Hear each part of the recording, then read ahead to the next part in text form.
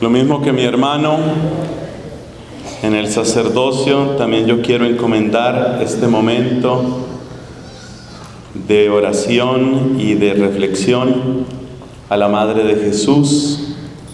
Yo creo que ella es la que supo escuchar, la que supo orar, la que supo ser discípula. Dios te salve María, llena eres de gracia, el Señor es contigo. Bendita tú eres entre todas las mujeres, bendito el fruto de tu vientre Jesús. Santa María, Madre de Dios, ruega por nosotros pecadores, ahora y en la hora de nuestra muerte. Amén. En el nombre del Padre y del Hijo y del Espíritu Santo. Amén. Tengan la gentileza de sentarse.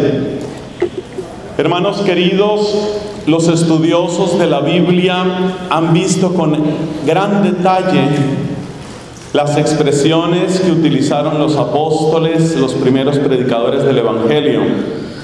Y hay una expresión que es muy particular de San Pablo, que es la que más se repite cuando se trata de nuestro Señor Jesucristo. Es la expresión en Cristo, en Cristo. Es una expresión que utiliza mucho Pablo y que anuncia toda la novedad de la vida cristiana. En el caso presente, en esta hermosa conferencia de la renovación carismática católica en Broward, deseamos ver cómo nosotros, según la expresión de San Pablo en el capítulo 12 de la carta a los romanos, llegamos a ser uno en Cristo. Ese es nuestro propósito. Queremos dirigir nuestra atención a esa expresión tan sencilla pero tan rica en Cristo. Y yo quiero utilizar cuatro comparaciones, cuatro imágenes que nos van a servir para, podemos decir, saborear la expresión del apóstol en Cristo. Me parece muy hermoso que muchos de ustedes están atentos a tomar sus apuntes. No olviden que esa es la mejor manera de escuchar. Cuando estamos tomando nuestros apuntes, estamos dándole una oportunidad adicional al Espíritu Santo para que grabe quizás ese mensaje que es el que más estamos necesitando. Esa es la, la importancia que tiene esto de tomar sus apuntes. Entonces, son cuatro imágenes que queremos aprovechar y queremos grabar en nuestra mente y así poder comprender mejor qué es lo que significa estar en Cristo. La primera imagen que les quiero compartir es la imagen de una piscina. Una piscina. O tal vez, si te parece muy limitado, también puedes pensar en un buzo cuando está en el mar. Claramente, el pez o el buzo, cuando está en el agua, está rodeado completamente. Esa va a ser una primera imagen. Vamos a llamarla la imagen de la piscina. La imagen de la piscina. En segundo lugar, vamos a pensar en otra imagen muy bíblica que es la imagen de la planta y concretamente la vid. Porque Cristo nos dice que nosotros somos como sarmientos, es decir, como ramas dentro de esa vid, que es Él. Entonces, esa va a ser la segunda imagen, la vid, la planta. Entonces, llevamos dos, la piscina y la vid. En tercer lugar, la tercera imagen que vamos a considerar hoy es la imagen del baluarte. Un baluarte es como una fortaleza en el terreno de combate.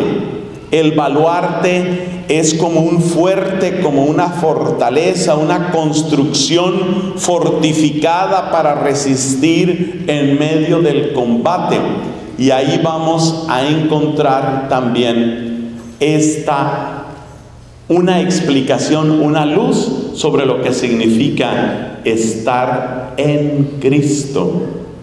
Porque queremos realmente llevar nuestra vida en Cristo, queremos realmente vivir en Él, queremos vivir y estar en Él. Esa entonces es otra imagen. Y finalmente tenemos la imagen del pan.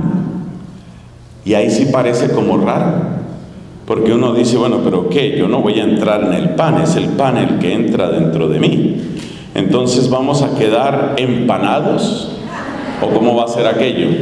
Pero deja esa palabra ahí que la vamos a explicar después con la ayuda de un gran santo de la Iglesia Católica que se llama San Agustín. Entonces son cuatro imágenes. La piscina, la vid, el baluarte y el pan, que es ahí un interrogante. ¿Cómo va a ser eso del pan? Todavía no sabemos, pero ya llegará el momento. Por última vez repito esas cuatro palabras para que queden bien grabadas y vayamos llevando el hilo de nuestra enseñanza. La piscina, la vid, luego el baluarte y por último el pan. Bueno, ahí estamos.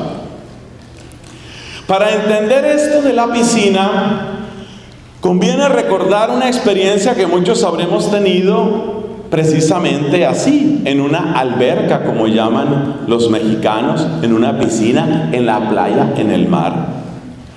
Hemos tenido esa experiencia y también la hemos visto en documentales científicos. ¿Cuál? La experiencia de estar completamente rodeados por todo nuestro ser, rodeados, literalmente sumergidos en una realidad que nos llena completamente. Esa es la piscina. ¿Y por qué esa imagen nos ayuda a entender lo que significa estar en Cristo? Porque resulta que si yo estoy sumergido, por ejemplo, en el océano, todo lo que puedo ver, por supuesto, está marcado por una realidad que se llama el agua. El agua marca todo lo que yo veo mientras estoy en la piscina. Y ahora es donde nos hacemos la pregunta clave en esta primera imagen, la de la piscina. ¿Cuál es la realidad que marca toda mi vida? ¿Cuál es la realidad que está definiendo toda mi vida? O dicho de otra manera, ¿en torno a qué gira mi vida? ¿En torno a qué? Porque cada vida humana gira en torno a algo. Ese algo es tu eje. Ese algo es tu centro. Ese algo es tu Señor. Ese algo es tu piscina. Y si tú estás en una piscina como la de Rico MacPato, que te acuerdas que tenía un depósito de qué? De dinero, ¿no? Él todo lo veía desde su depósito de dinero. Cuando estaba triste, ¿qué hacía? Se echaba en su piscina de dinero. Cuando quería definir un negocio, ¿qué hacía? Se metía entre bultos de dinero. Cuando iba a invitar al mejor de sus amigos, ¿a dónde lo llevaba? A su piscina de dinero. Esa era su piscina. Él veía todo a través de su dinero. Él veía todo a través de su ganancia. Ese es rico MacPato. Esa era su manera de ver las cosas. Y por consiguiente el dinero era su eje, el dinero era su Señor, el dinero era el que determinaba todo en su vida. Cada uno de nosotros tiene algo que le está determinando la vida, algo te está marcando profundamente. Algo está marcando tu existencia. En el caso de Rico MacPato es fácil saber el dinero. En otras personas pueden ser otras cosas.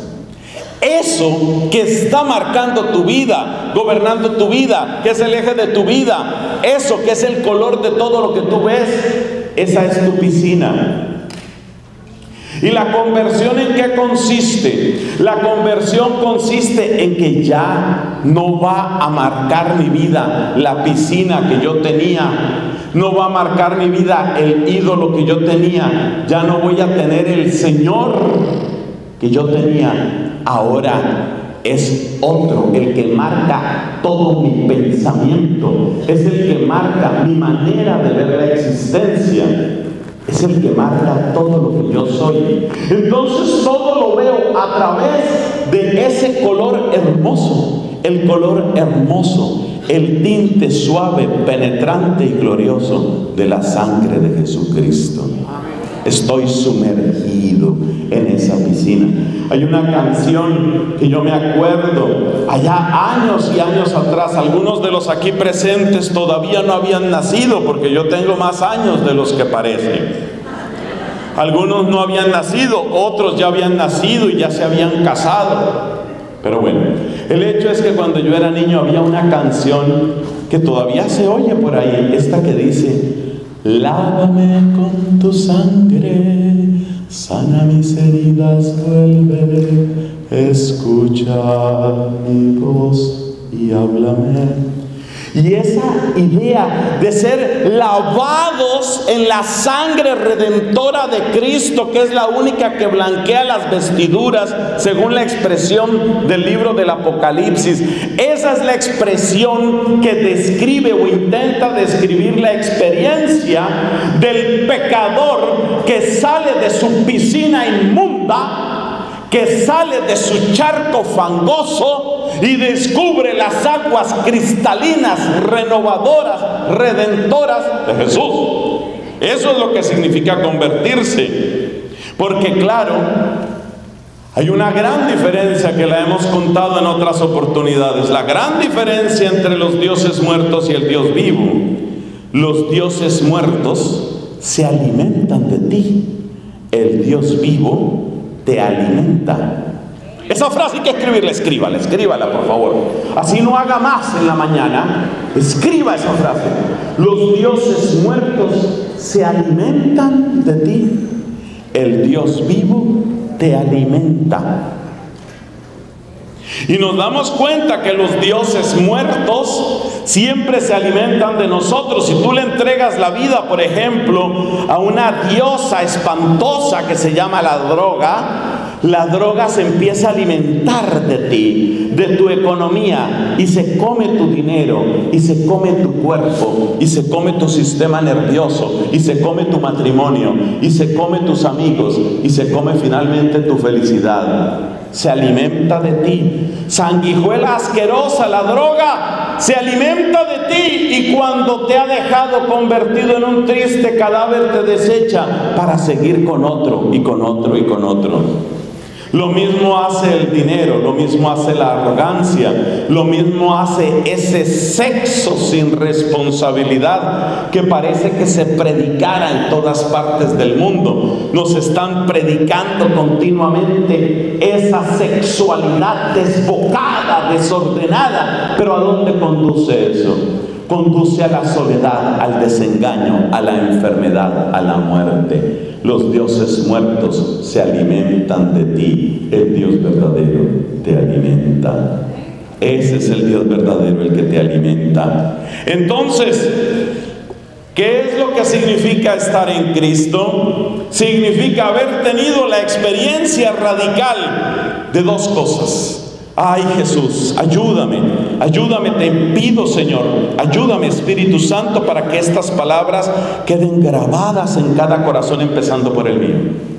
Estar en Cristo, según la imagen de la piscina, es dos cosas. Primero, una experiencia intensa, profunda, de desengaño.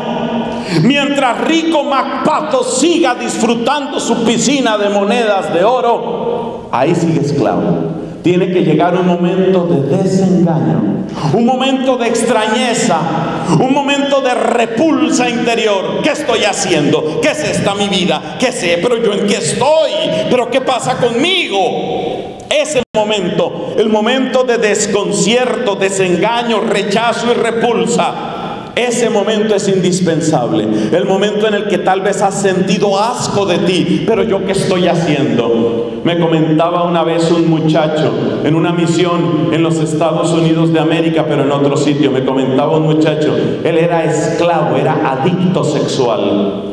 Continuamente buscaba experiencias de placer en una y otra parte. Se había vuelto adicto a los prostíbulos.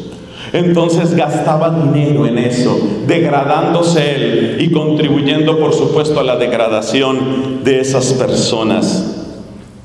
Entonces él me cuenta en una misión muy hermosa, esto fue en otro lugar de Estados Unidos, repito, él me cuenta la experiencia de conversión. Fue a un sitio que solía frecuentar y por alguna razón ese sitio no estaba abierto ese día.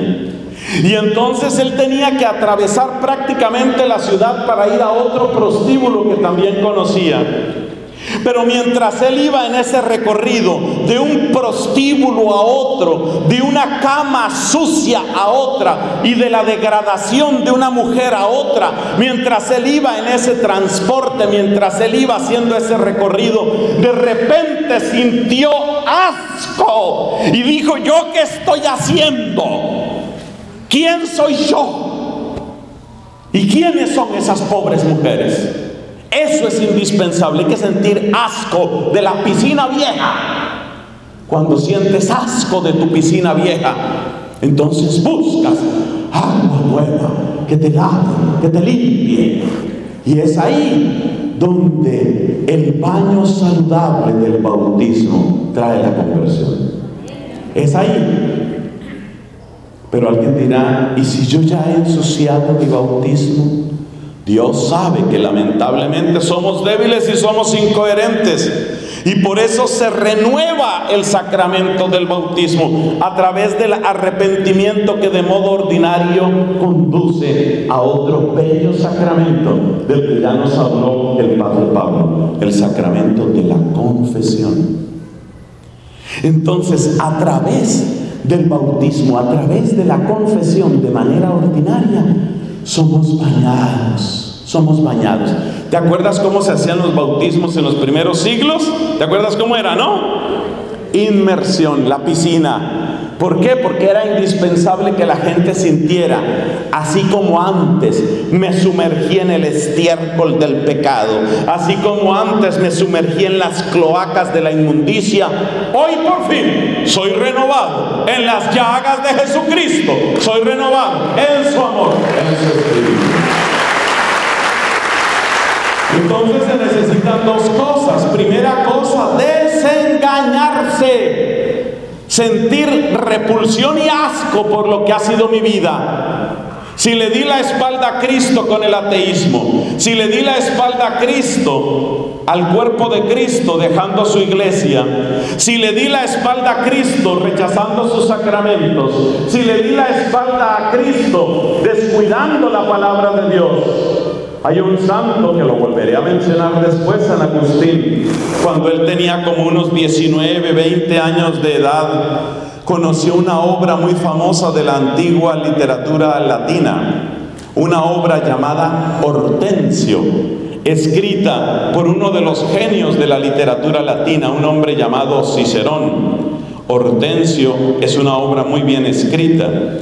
Y él quedó fascinado a sus 19 años de edad, quedó fascinado con la lógica y la retórica de Cicerón. Un poco de tiempo después, por esa misma edad, 20 o 21 años, la mamá de Agustín, que se llamaba Mónica, le ofreció la Biblia para que la leyera. Y Agustín, lleno de arrogancia, empezó a leer la Biblia. Y pronto llegó a una conclusión, la Biblia está mal escrita. Fíjate hasta dónde llega la arrogancia humana. Y tomó esa Biblia y la desechó. Se olvidó de ella, se la devolvió a la mamá o lo que fuera, no me interesa. El hortensio está mejor escrito que la Biblia, mamá. Eso fue como una puñalada para la pobre Mónica. El hortensio está mejor escrito, no, no me interesa, quédate con tu Biblia. Si le he dado la espalda a Dios, por escoger mi piscina de inmundicia, el momento de la conversión es el momento donde me postro ante su palabra, ante su presencia, ante su cuerpo y le digo, perdóname Señor, esa es la piscina. Bueno, entonces las dos cosas son repulsión a lo que ha sido mi vida pasada y absoluta confianza absoluta y radical confianza en el Dios que tanto me amado. Las dos cosas. Repulsa del pecado, confianza en la misericordia. Por supuesto, el gran profeta de nuestro tiempo en lo que tiene que ver con la misericordia es el Papa Francisco. Él es el que nos está recordando cómo tenemos que dar ese paso, ese paso de absoluta confianza. Hay un Dios que me espera, hay un Dios que me recibe, hay un Dios que me ama. Bueno, eso es lo que significa estar en Cristo. Pero hay una característica, y por aquí vamos con el tema de la unión en Cristo. Yo llego a Cristo Jesús y me sumerjo en las aguas de su divino amor. Llego a Cristo Jesús y soy renovado por su infinita misericordia. Y en esa renovación descubro algo. Tengo hermanos. ¿Por qué? Porque así como a mí me ha renovado el amor de Jesús, a ti también. Y a ti también, y a ti también. Entonces ahí empiezo a descubrir que nosotros somos hermanos de piscina.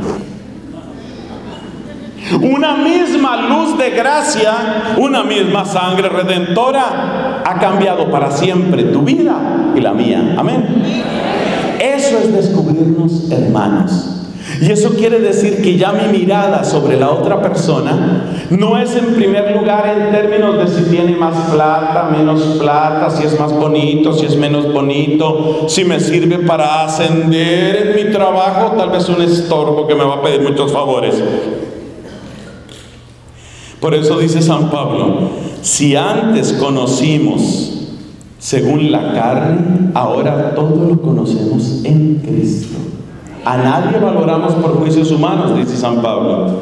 ¿Por qué? Porque estamos en la piscina. Y si estamos en la piscina, yo comprendo que entre tu historia, hermanita querida, y mi historia, hay un torrente de misericordia.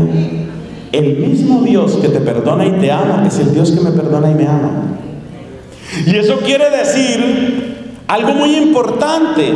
Eso quiere decir que la única manera como yo puedo mencionar a mi enemigo, si tengo enemigos, que a veces pasa que uno tiene enemigos, o hay gente que lo maltrata a uno, o hay gente que le hizo mucho daño a uno en el pasado. Mi primera mirada hacia mi enemigo no es el daño que me hizo y cómo me trató y la cara y la manera como me habló y no solo lo que me dijo, sino el tonito Hermanos, mi primera mirada hacia mi enemigo o mi primera mirada hacia mi amigo.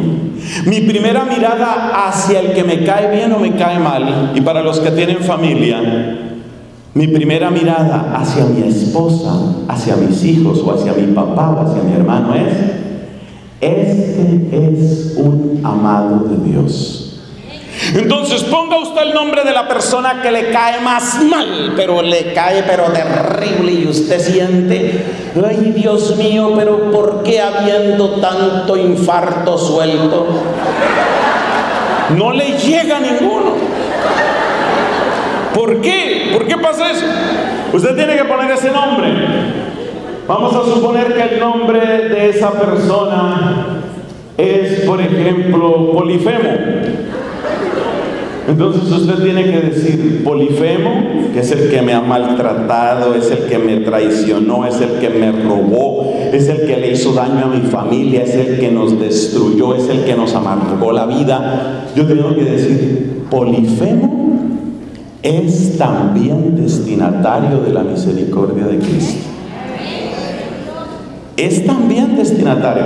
Si la recibe o si no la recibe, yo no lo sé. Si la va a recibir hoy, mañana o la recibió ayer por la noche, yo no sé. Pero lo que sí sé es que la piscina de Cristo es más grande que todos los océanos, no solamente de la tierra, sino también de Encelado. ¿Qué es eso? Encelado es una de las lunas de Saturno, todo el mundo debería saber. Encelado es una luna de Saturno que ya se demostró que tiene un mar, tiene un océano. Parece que el, líquido, que no es agua, que cubre todo Encelado, le da la vuelta a todo el planeta. Entonces ya ustedes cuando salgan de esta, de esta predicación, van a preguntarle a la gente de su familia, bueno, ¿y qué les están diciendo allá en esa conferencia? Bueno, nos están diciendo que la misericordia de Cristo es más grande que todos los océanos de la tierra y de Encelado. Y ahí van a decir nosotros como el, Chapulín Colorado, ¿en qué? Es solamente para que te acuerdes que en la piscina de Cristo hay siempre espacio para todos. Para todos. Padre, también para mi suegra, también. Y para esa nuera que efectivamente no era la que yo quería. Para eso también. Para eso también. Y para el que me hizo daño también hay espacio. Sí, sí hay espacio. Esa es la piscina de Cristo. Segundo, segundo punto. El tiempo corre, mis hermanos, pero, pero es tan bello, ¿cierto? Es tan bello gastar nuestro tiempo para Cristo. ¿Quién le da un aplauso a Cristo?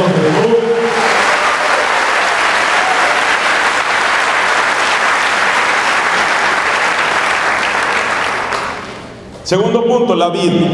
¿Qué nos añade la imagen de la vid? La imagen de la vid es preciosa sobre todo por dos razones. Primera, usted se da cuenta que las ramas tienen que estar en el tronco, en la planta para poder dar fruto. Cristo lo dice. Eso quiere decir que si yo me desconecto de Cristo, si yo no estoy en Cristo, no puedo dar fruto. Cristo dice, Juan capítulo 15, sin mí no pueden hacer nada. Pero hay una imagen que es muy importante en esto de la vid. Bendito sea Jesús nuestro Maestro. Hay una imagen que es muy importante y es esta. Cuando tú cortas una rama, esa rama todavía sigue verde. O sea que recién cortada la rama parece que no ha pasado nada. Ese es un grave problema. Porque que Dios nos libre de toda desgracia, si nosotros y que Dios nos preserve y que jamás suceda, si un día por la mañana alguno de nosotros se levanta y dice, eso que cuento de Dios, ni habrá Dios, no por el hecho de cometer tan horrible blasfemia, te va a pasar necesariamente algo. Si tú niegas a Dios y bajas a tomar tu desayuno, el desayuno seguro que está muy bueno, y tú dices, ¿qué me pasó? Negué a Dios y no me pasó nada. Porque la rama recién cortada todavía está verde. Pero ya está muerta. Está verde, pero está muerta. Apocalipsis capítulo 3. Tienes nombre de vivo, pero estás muerto. Eso sucedió con el protestantismo, con el debido respeto hacia quienes vienen de, una, de un pasado en el protestantismo. Eso sucedió en el protestantismo. Cuando los protestantes se separaron de la Iglesia Católica, siglo XVI, con Martín Lutero, parecía que no sucedían demasiadas cosas. Seguía habiendo predicación, obras de caridad, alabanzas, cantos, himnos. Seguían, siguió habiendo mucho de lo que antes había, porque la rama estaba verde. Para mí un símbolo muy importante de lo que sucedió en el protestantismo está precisamente en lo que encontramos que sucedió con la Santa Señora, con la Virgen María. Yo les voy a contar una cosa. Martín Lutero era un gran entusiasta de cantar las grandezas de María. Y tiene todo un comentario bíblico precioso sobre el Magnífica del canto de la Virgen. Y les cuento otra cosa. Martín Lutero creía y afirmaba con gran fuerza que María era perpetuamente virgen. Martín Lutero. Pero es que ahí en la rama estaba recién desgajada. Pasa el tiempo y ustedes saben que la inmensa mayoría de los protestantes, ya que dicen de María, una mujer, casi lo dicen así, como cualquiera debió tener sus hijos, no sé qué, te das cuenta, el tiempo pasa y la rama se va secando.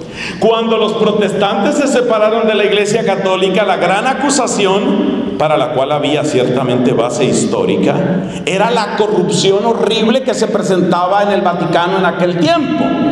Reconozco, había motivo para ello, pero la solución nunca es cortar. No, la solución siempre es conversión mía y conversión de todos en la iglesia.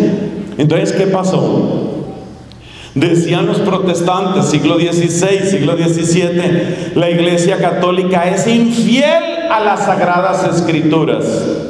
Pero ustedes saben que en los países protestantes es donde más se está negando la Sagrada Escritura en lo que tiene que ver con la familia. De manera que ya en Escocia, en Dinamarca, en Suecia, las iglesias cristianas se prestan para matrimonios entre personas del mismo sexo. Y la, la escritura no dice eso. ¿Te das cuenta? Cuando se desgaja, cuando uno corta, uno sigue viendo todo normal. Todo está verde, la rama está verde. Ah, pero el tiempo pasa y a medida que el tiempo pasa te vas dando cuenta del gravísimo error cometido. Precisamente, no hay religión que esté retrocediendo más rápidamente en Inglaterra o en Alemania que el cristianismo protestante. Los católicos no estamos mucho mejor en esos sitios, ciertamente, pero el protestantismo literalmente se está hundiendo. Así tal cual.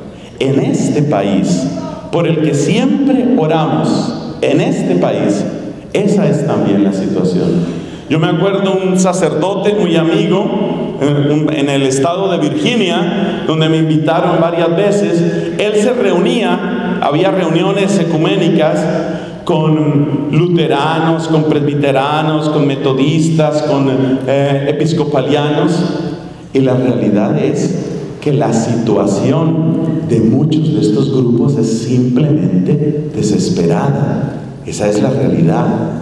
Entonces, ¿qué es lo que queremos decir? Lo que queremos decir es que estar en Cristo es estar conectado a la fuente de vida. Y Cristo ha querido que esa fuente de vida, que es Él mismo, tenga precisamente la estructura de una planta, la estructura de un árbol donde cada uno de nosotros tiene su sitio. Y eso precisamente es la iglesia. Es ahí entonces yo no puedo darle la espalda a la iglesia sin perder a Cristo. Ah, yo sé lo que muchos me van a decir, pero es que yo he ido a otros lugares donde no son católicos y predican muy bonitos. Sí, yo sé eso, que Dios los ayude, que Dios los bendiga. En ningún momento estamos predicando violencia ni agresión contra nadie, pero te estoy contando la historia de la rama. Te estoy contando la historia de la rama.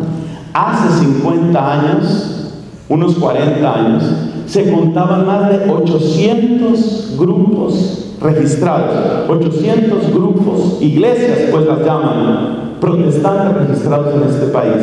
En este momento la cuenta va por miles y miles y miles. Dime si se va a cumplir lo que dice ahí. Dime si se va a cumplir el deseo de Cristo a medida que cada uno va haciendo su propio grupo. Así no es, ese no es el camino. Y con el mismo énfasis con el que tenemos que predicar la victoria en Cristo, con el mismo énfasis tenemos que predicar nuestra unión en la Santa Iglesia, con amor, con caridad, con paciencia, con testimonio, con oración. Pero no podemos negar en dónde está el principio de subsistencia de la unidad. Lo dice el Concilio Vaticano II en la Constitución Lumen Gentium. La iglesia de los apóstoles subsiste completa en la iglesia católica. ¿Qué quiere decir eso? ¿Qué quiere decir eso? Quiere decir que es nuestro deber vivir y amar, orar y testimoniar de tal manera, de tal manera, que todos los otros se den cuenta en dónde está completo, completo el mensaje. Por supuesto que si yo separo una rama, sigue verde, ya lo expliqué. Por supuesto que sigue teniendo cosas bonitas, ya lo expliqué. Pero hay que buscar dónde está completo. Y ese completo significa plenitud eucarística, plenitud de santidad, plenitud de renovación de las instituciones propias de este mundo. Y es ahí donde nosotros tenemos que trabajar. Entonces, ¿qué significa? Amén. ¿Qué significa estar en Cristo según esta segunda imagen? Significa que yo no puedo creer que estoy en Cristo si yo me he desconectado de la iglesia. Nos dice el apóstol San Pablo en su carta a los Efesios, Cristo amó a la iglesia y se entregó por ella. Yo no puedo darle la espalda a la iglesia sin darle la espalda al que amó la iglesia. Tengan la bondad, parejas que estén aquí sentadas, tómense de la mano y levanten las manos unidas. Hay varias parejitas, miren qué lindos, qué lindos. Ahí está. A mí lo que más me gusta en esta, en esta escena son esas parejas que ya llevan muchos años. A veces uno de los dos está un poquito sordo. ¿Qué dijo? ¿Qué dijo? Que levantemos la mano. Ah, Levanten la mano otra vez, por favor. Mire, aquí por ejemplo tengo esta parejita. Pueden bajar la mano. Tengo esta parejita. Ustedes pueden bajar la mano, tranquilo, pero quiero dirigirme a ustedes. Usted, caballero, está felizmente casado con esa dama, ¿cierto? ¿Cuántos años llevan de casados? 50 años de casados.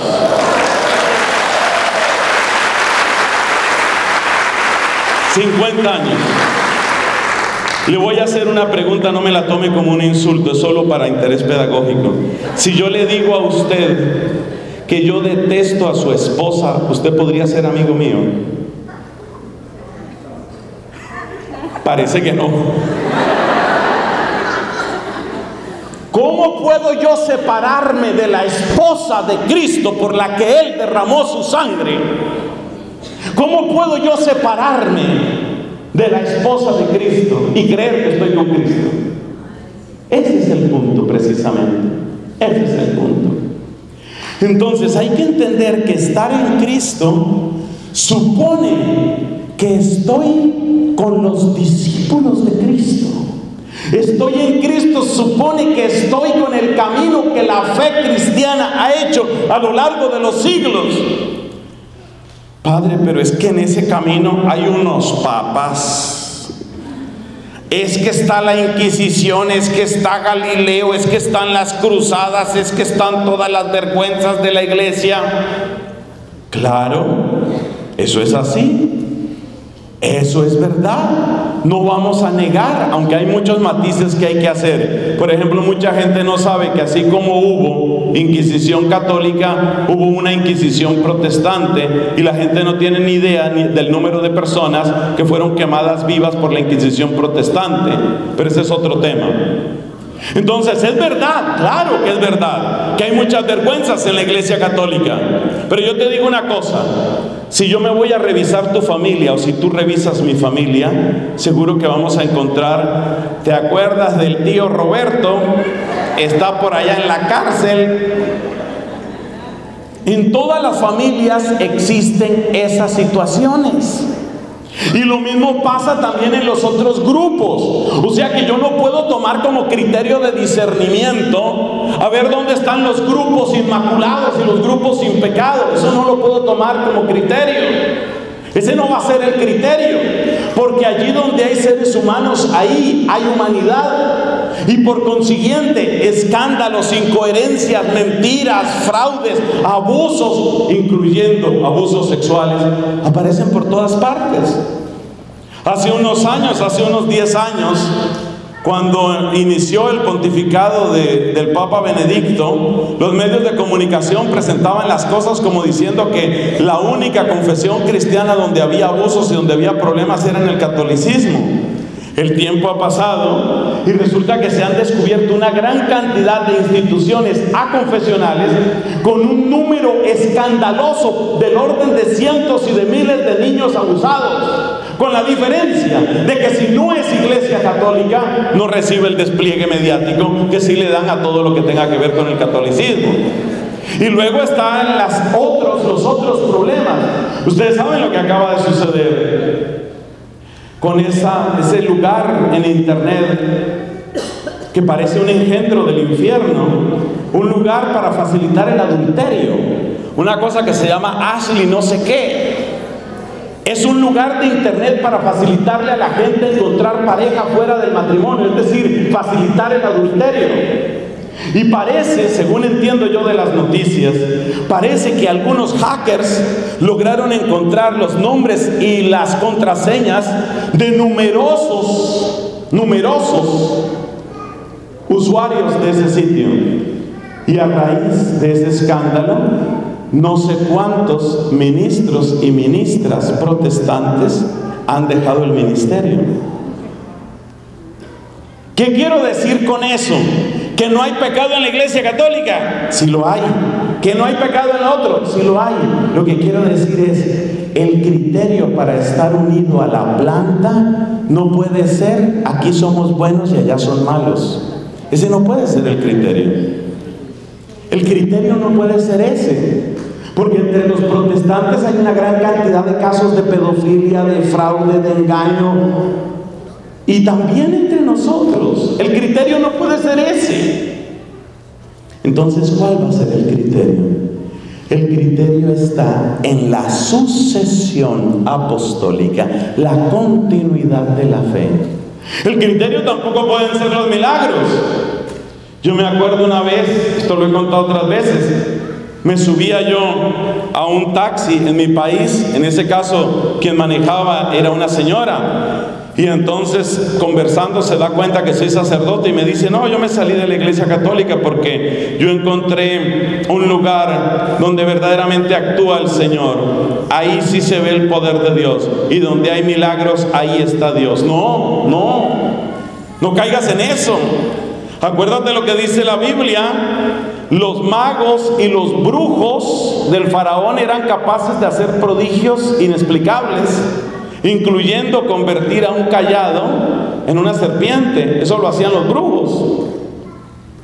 Entonces yo no puedo tomar como criterio de verdad, yo no puedo tomar simplemente donde hay milagros, porque los milagros son falsificables. Entonces, ¿cuál va a ser mi criterio de unidad?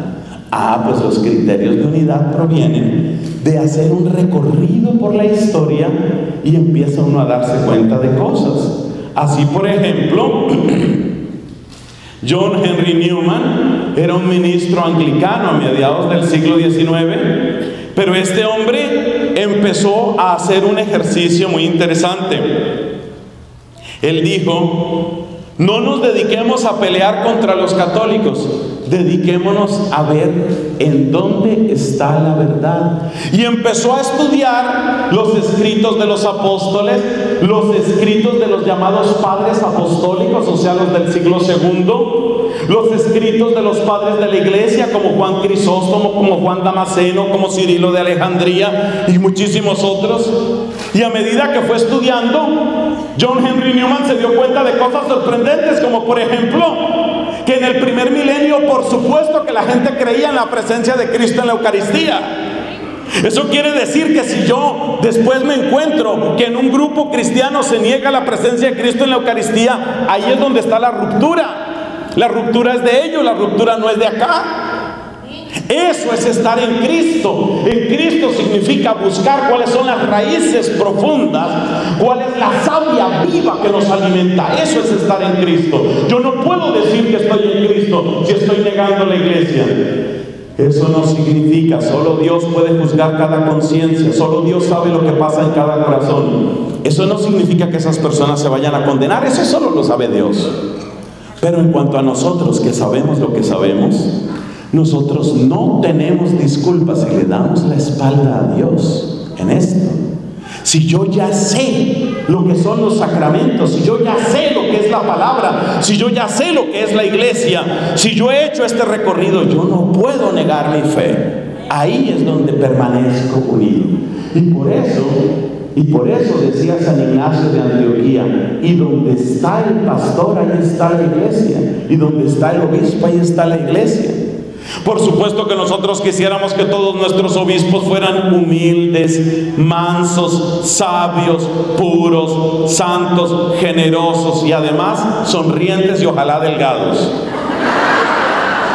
Seguro que quisiéramos que todos fueran así. Muchos obispos no cumplirán con todo eso, muchos sacerdotes no cumplen con todo eso. Pero nosotros entendemos dónde está el principio de unidad. Pasemos al tercer punto. Nuestro tercer puntico era ¿cuál? El baluarte. ¿Y qué significa estar en Cristo baluarte?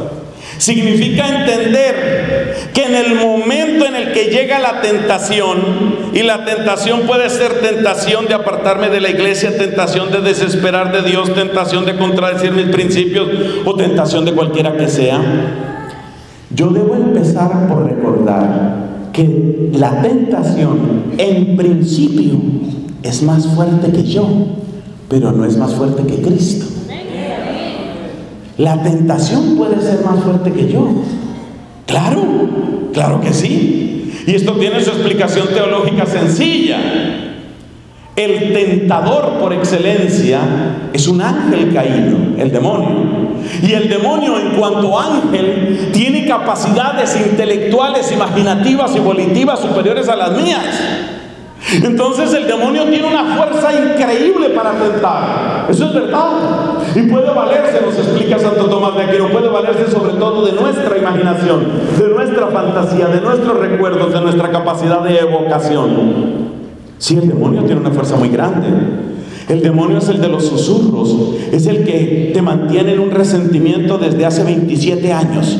27 años que tengo un resentimiento, Padre. ¿Y por qué está resentido? Por una cosa que me hizo una cuñada. Y estoy con un resentimiento terrible. Pero usted ha intentado perdonarla. Sí, sí, sí. Yo estuve en una conferencia muy buena. Que estuvo predicando el Padre Campuzano.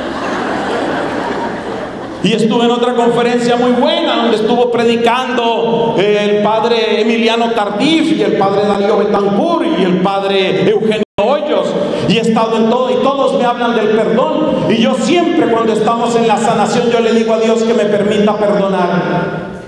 Qué bueno, ¿y qué ha pasado? Que en ese momento yo siento que sí puedo perdonar. ¿Y después qué pasa? Que llego a la puerta y me acuerdo de la cara que me hizo la india desgraciada esa entonces en ese momento. ¿Eso qué quiere decir? Ese es el poder del demonio. El demonio es el que siente que se le va la presa. Es el que dice, donde esta viejita resentida empiece a perdonar, se va a convertir en un volcán de amor y caridad. Y yo no quiero eso, dice el demonio. Donde este joven inteligente y prestigioso se humilla ante Cristo, yo pierdo lo que yo quería tener, un instrumento que pervirtiera muchos corazones.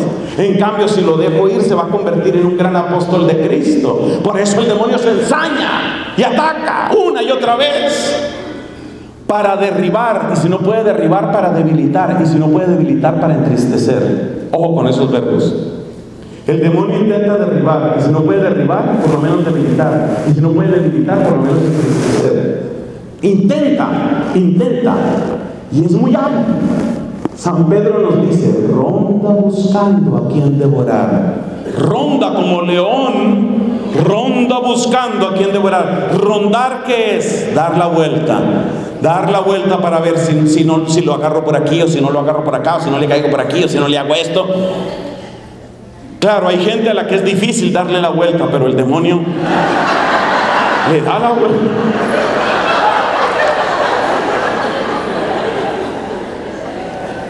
Algunos de nosotros es más difícil darnos la vuelta, pero Él da la vuelta y llega a conclusiones y dice, ah, ya sé cómo hacer. A este viejito panzón, yo lo ataco por aquí. A esta la voy a atacar por la vanidad. A este lo que le gusta es la plata. Este es un envidioso y esta es una vieja resentida. Y así sucesivamente. Eso es lo que hace el demonio. Y uno tiene que reconocer que sus estrategias son astutas y por lo mismo peligrosas. Ahí es donde viene el baluarte. El baluarte es la construcción fortificada del campo de batalla. Y ahí me tengo que refugiar en Cristo. No te pongas a discutir con la tentación. El primer ser humano que discutió con el tentador se llama Eva. Una serpiente le habla. Ella ha debido empezar a sospechar ahí. ¿Cómo así que una serpiente hablando? Pero bueno, una serpiente le habla. Y empieza por decir mentiras la serpiente. Es verdad que Dios les dijo que no podían comer de ningún árbol. Era mentira eso. Ella se pone a conversar con la tentación. Esa pelea siempre la vas a perder. Nunca converses con la tentación. Nunca converses con el tentador. Un amigo que sufría de alcoholismo llevaba cuatro meses de abstinencia. Para celebrarlo se encerró con una botella de vino. A ver si gana la botella o gano yo. Adivine quién ganó. Claro. No te pongas a conversar con la botella. No te pongas a conversar con la tentación que tienes que hacer. Ir a refugiarte en Cristo ir a refugiarte en Cristo. San Pablo dice, todo lo puedo en Él, Él, en Él, en Él. Fuera de Él, fuera de Él nada, fuera de Él nos come la tentación. Entonces, si tú por ejemplo ves un escándalo, un escándalo horrible de un sacerdote, lamentablemente esas cosas pasan. Yo sé de qué estoy hablando. Es un escándalo horrible. De inmediato el león rugiente dice, este es mi momento para desgajar a este señor de la iglesia católica. ¿Qué hay que hacer en ese momento? Me refugio en Cristo, en Cristo. ¿Y qué descubro cuando me refugio en Cristo? ¿Qué descubro? Que hay otros que también están refugiados en Cristo. Yo les digo una cosa con todo el amor sacerdotal que puede tener este pecho. Yo les digo una cosa. Mire, una familia, una pareja puede tener muchos problemas, muchos. Pero si ese hombre, en vez de atacar a ella, se refugia en Cristo, y si ella, en vez de atacarlo a él, se refugia en Cristo, en Cristo un día se van a encontrar los dos. ¿Y usted qué hace aquí? No, yo aquí refugiada en Cristo. ¿Sabes qué? Yo también estoy refugiada en Cristo. Yo también. Y ahí se junta el baluarte con la piscina. Entonces me doy cuenta que es una mujer, pero que tiene limitaciones como todo ser humano pero Cristo la ha recibido. Y ese hombre imperfecto, con sus defectos, así lo ha recibido el refugio. Una cosa bonita en medio de tanto dolor de la Segunda Guerra Mundial es la multitud de amistades profundas que se hicieron en los campos de concentración y que se hicieron en los refugios antiaéreos. Las amigas del alma que le ayudaron a fundar el movimiento de los focolares a Lubik fueron amigas de refugio antiaéreo. Mientras caían las bombas en el norte de Italia, se refugiaba la gente, claro, en esos lugares, eran los baluartes. Y ahí se encontraron y ahí se volvieron amigas. Entre otras cosas porque Kiara, refugiada en Cristo, le decía a sus amigas, vamos a escondernos en la palabra de Dios y leían el Evangelio. Último punto, porque no, no, no me dejan ver, allá me ponen una luz que, no, no me deja ver claramente. El último punto es muy breve, que es el tema del pan. Oye, ¿cómo es eso del pan? Si el pan lo comemos, el pan queda dentro de nosotros, y aquí estamos hablando de que somos uno en Cristo. ¿Cómo es eso del pan? Ahí es donde nos ayuda San Agustín nuevamente. ¿Sabes qué pasa con el pan? San Agustín nos dice algo muy bello. El pan natural, cuando tú lo comes, se convierte en ti. Pero el pan del cielo, cuando tú lo comes, te convierte en Él. Eso dice San Agustín.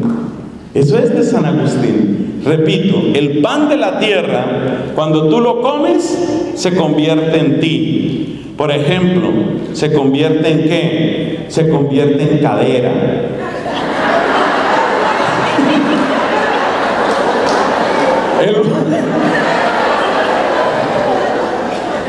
Allá hay una señora que nada más me hace la seña, Padre. El pan de la tierra, cuando tú lo comes, se convierte en ti. El pan del cielo, cuando tú lo comes, te convierte en Él. Entonces, a medida que nos eucaristizamos, verbo que existe en griego, a medida que nos eucaristizamos, a medida que todos nos vamos cristificando, a medida que nos vamos volviendo Cristo, entonces resulta que yo empiezo a encontrar a Cristo en ti, porque tú te estás cristificando y tú empiezas a encontrar a Cristo en mí. Y el mismo Cristo que te está cristificando es el mismo Cristo que me está cristificando.